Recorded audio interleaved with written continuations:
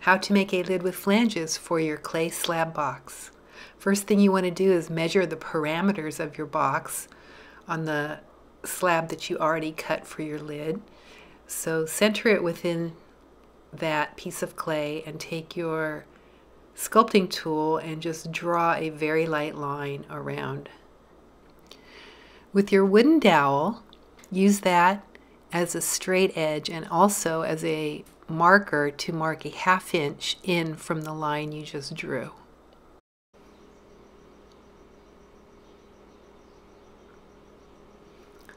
Your flanges are going to lay within that area. So it's a good idea to mark that off with an X.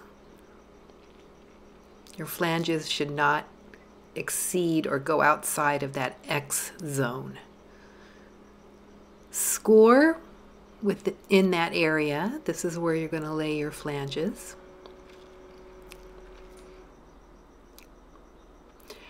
And to begin, you can just lay one on top to measure. And you can either use the butt joint or if you want to try something different, this is a corner joint. Cutting a right angle 45 degree angle and then laying it on top of another strip that you've pre-cut and just making a second one exactly the same length. So now you have two and to cut the sides you're just going to lay it on top and measure and then duplicate that side on an, with another piece of clay that you have already pre-cut. So you should have two sides equal and then uh, two sides equal in length.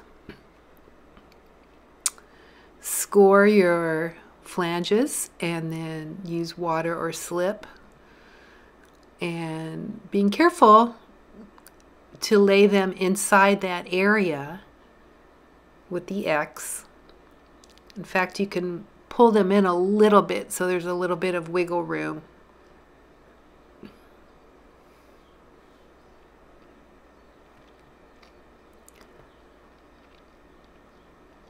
Try to get your angles, your corner angles to be right angles.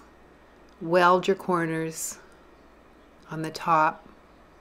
Pretty much everywhere where there's a joinery, you're going to weld.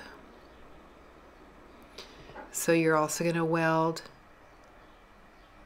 the inside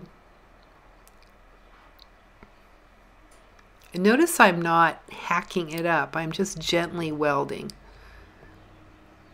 You want to maintain the integrity of the of the flange. You're just trying to connect it to the lid.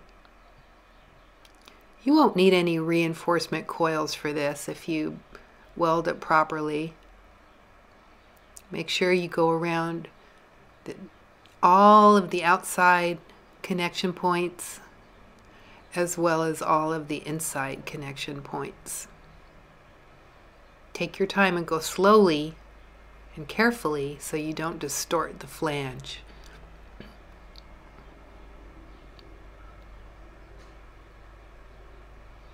Make sure you get the inside corners as well. Then you can smoothen it over with a damp sponge and make sure it's nicely connected and it looks good.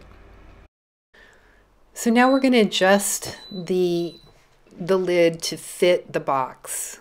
So you're going to place the box on top of the lid and mark the area around it.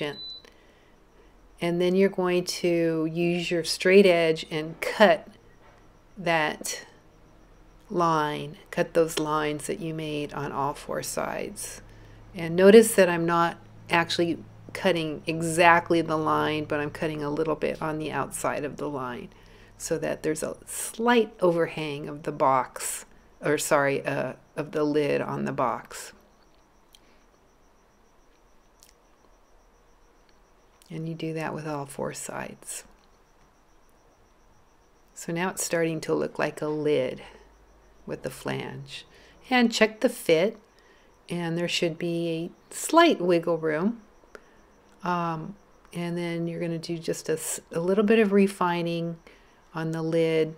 Double check the right angles. You can use your straight edge, your triangle to press in the sides a little bit.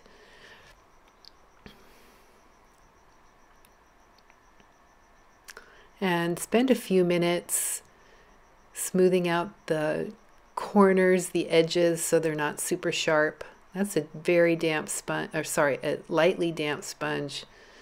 Use your rib or straight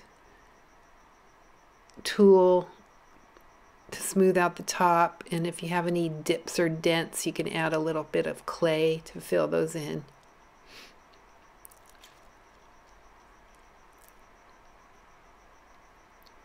Essentially, you're just refining it. And there's your box.